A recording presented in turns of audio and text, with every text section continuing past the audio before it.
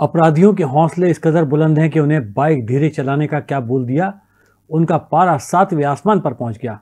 जिस युवक ने उनसे बुलेट मोटरसाइकिल धीरे चलाने को कहा था, बदमाश उस पर भड़क गए और युवक के साथ लाठी डंडों से मारपीट करने लगे।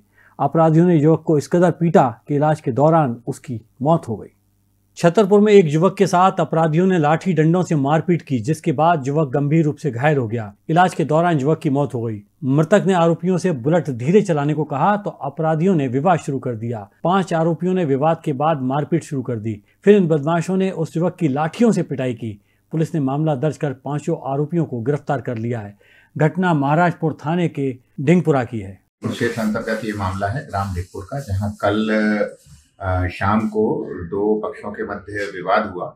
और इसमें जो पहला पक्ष है, उसने थाने आके रिपोर्ट की और फिर वो जब गाँव में पहुँचा है तो दोबारा से ये झगड़ा हुआ और उसमें एक मंटू राजा नामक युवक की लाठी डंडों से चोट आने के कारण मृत्यु हो गई और इस पे से धारा 302 आईपीसी का प्रकरण थाना महाराजपुरा में दर्ज किया गया है और पाँच इसमें नामजद आरोपी हैं और पुलिस ने त्वरित कार्रवाई करते हुए अभी सुबह तक पाँचों आरोपियों को गिरफ़्तार भी कर लिया। सर घटना की वजह क्या थी? घटना की वजह सामान्य अनुक्रम में ये जो मोहल्ले से लोग निकलते थे इसको लेकर दूसरे पक्ष ने आपत्ति व्यक्त की थी और यहीं से झगड़ा चालू हुआ। और जैसा मैंने बताया कि दोनों ही पक्षों में इसमें विवाद हुआ था और पहले पक्ष की रिपोर्ट लिखने के बाद ये दोबारा से